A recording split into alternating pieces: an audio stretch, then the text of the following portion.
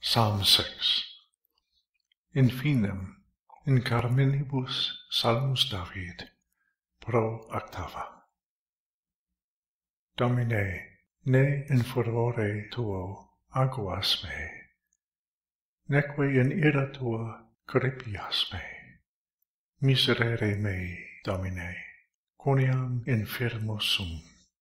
Sana me, Domine, coniam conturbata sunt ossa mea, et anima mea turbata est valde, sed tu, Domine, usque quo. Converte, Domine, et eripe anima mea. Salva me fac propter misericuriam tuam.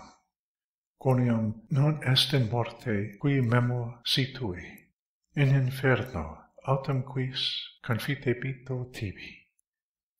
Laboravi in gemitu meo, lavabo per singulas noctes lectum meum, lacrimis meis stratum meum rigabo. Turbatus est a furore oculus meus, inveteravi inter omnes inimicos meus.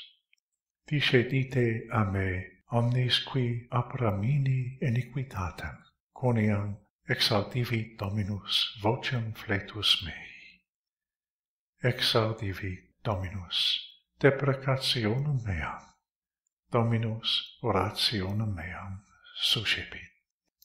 Edubescant et contorbento viamente omnis inimici mei. Convertantur et erubescant valde velocite.